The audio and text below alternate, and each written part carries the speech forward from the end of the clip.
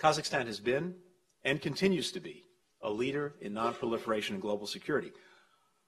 I remember very well, and Strobe knows this um, even better, um, one of the great uh, successes of the Clinton administration uh, with some of our European partners uh, was helping to uh, work with successor states of the former Soviet Union that inherited nuclear weapons. And Kazakhstan, along with Belarus and Ukraine, took the very brave and important step of relinquishing the weapons that it inherited when the Soviet Union uh, dissolved. Kazakhstan has also fostered stability in its own region, contributing to Afghanistan's future by funding the Afghan National Security Forces and police and enabling 1,000 Afghan men and women to study at Kazakhstani universities.